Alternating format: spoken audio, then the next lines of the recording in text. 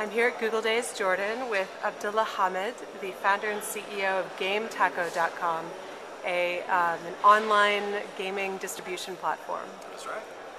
Hi Abdullah, can you describe GameTako.com to me a bit? Okay, so GameTako is a game distribution platform for game developers to publish games, uh, create and publish games and use our APIs, our user system for example, so they can save their scores and uh, other things on our servers and therefore provide uh, a more engaging experience with the gamers that come to our sites daily and try to play innovative, uh, different games that are found in the cookie cutter uh, uh gaming sites uh, that are around. They're very popular.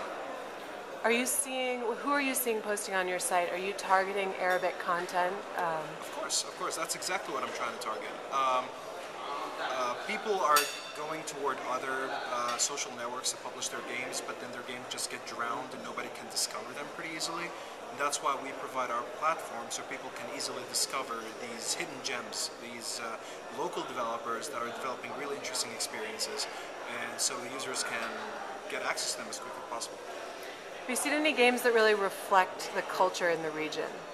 Uh, well, we're going to create a game pretty soon. I'm going to release it there uh, just as an example of what people can create. Uh, but there is a game that got ported from uh, iPhone, which is Gergean, which is kind of like Halloween in uh, the Western world. And uh, they created an iPhone version of the game, but then they decided to make a Flash version of the game, and that is published on our website. And actually, you can save your scores there on your user account on the website and compete with others and see who can get higher scores.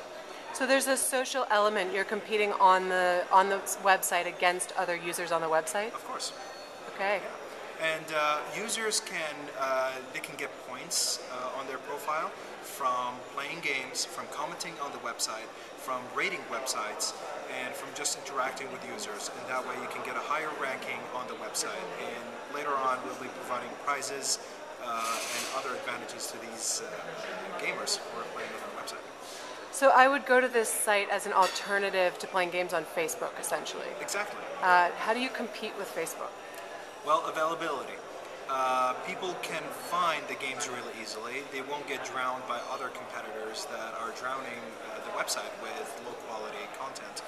Um, I can find the Arabic games that are really popular over there really easily and I don't have to uh, uh, just annoy my friends with uh, you know the farm that I have on Zynga or anything like that and drown their and spam their uh, uh, their stream that they have there on Facebook. So this is much more uh, targeted toward gamers who are serious about playing games and enjoying them. I see. And um, have you enjoyed Google Days Jordan? Yeah, pretty much. it's pretty fantastic. What are the what would you say are the top most useful tips that you've learned today? Well, uh, the most useful tips that I got were at the sessions that had to deal with uh, uh, search engine optimizations. Um, a lot of people got misconceptions and myths about search engines. They always try to do some weird uh, things just to get a higher ranking at uh, search results. And uh, due to uh, the competition, the high competition on game portals that are available in the Arabic region, it was really important for me to know what works and what doesn't work. I see. And are they addressing SEO in Arabic? Uh, they tried, uh, but Arabic is a little bit tricky, and I think the only way that people can address it is us Arabs and Arab developers, and we're figuring things out. We're, uh, we're doing pretty well. Cool. What, would, what else would you like to see at Google Days, Jordan?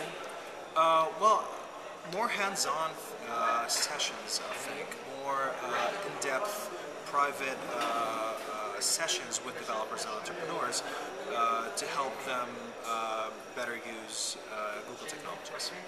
I see. Do you feel like Google technologies have really helped your business?